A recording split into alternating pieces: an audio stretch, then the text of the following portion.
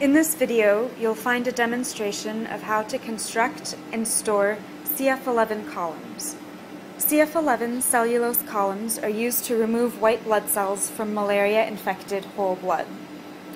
Column assembly requires Whatman CF11 cellulose powder, Whatman grade 105 lens cleaning tissue, 10 cubic centimeter plastic syringes, centered, not offset, desiccant and zip-locking bags for storage, forceps, spatula, and scissors.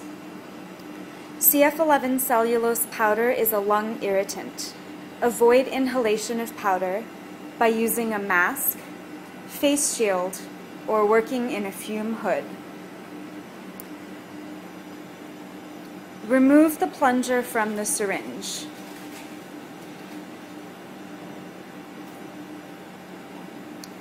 Using forceps, lay two 1 centimeter squares of lens paper or a rectangle folded in half to form two 1 centimeter squared layers, flat at the bottom of the syringe barrel, to cover the tip opening. Add approximately 11 loosely packed cubic centimeters of CF11 powder to the syringe barrel. Check that the lens paper is fully covering the syringe opening before pouring the powder in.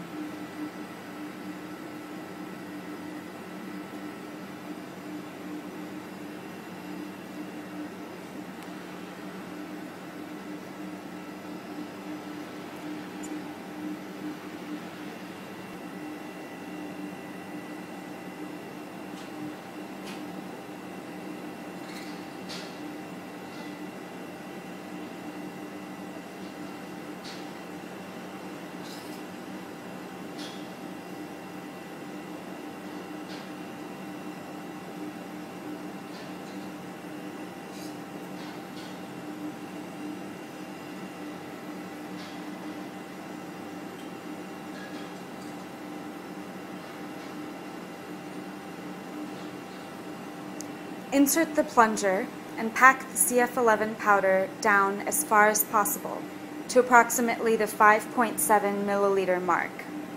Add more powder to reach this level if necessary. Columns should be shipped and stored in tightly sealed zip-locking bags with approximately 10 milligrams of regularly replaced desiccant until use. In humid conditions, columns should not be stored for longer than two months.